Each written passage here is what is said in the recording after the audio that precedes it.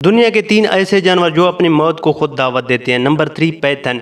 ये काफ़ी ख़तरनाक और लालची किस्म के जानवर होते हैं, जो कई बार अपने से बड़े जानवर को जकड़ कर निकल जाते हैं। लेकिन कभी कभी कुछ उल्टा सीधा खा लेने की वजह से वो चीज़ें इसके पेट फाड़ कर बाहर निकल आते हैं, जिससे इनकी मौत हो जाती है। Number two, reindeer. वैसे तो इसकी सिंग इनकी खूबसूरती को चार चाँद लगाते हैं, लेकिन कई बार ये सिंग इनकी जान की दुश्मन बन जाते हैं। दरअसल जब दो रेन अपनी सेटिंग के लिए लड़ते हैं तो कई घंटे तक इनकी सिंग फंस जाते हैं, जिनसे इनकी मौत हो जाती है। हार्स हार्स को लोग अपनी तेज़ रफ्तार की वजह से जानते हैं, जिस तरह हमारे नाखून ज़िंदगी भर बढ़ते रहते हैं, उसी तरह इनके भी नाखून बढ़ते रहते हैं। अगर इन्हें ज़्यादा अरसे तक काटा न जाए तो इतने बढ़ जाते हैं कि इनसे चलना भी मुश्किल होता है।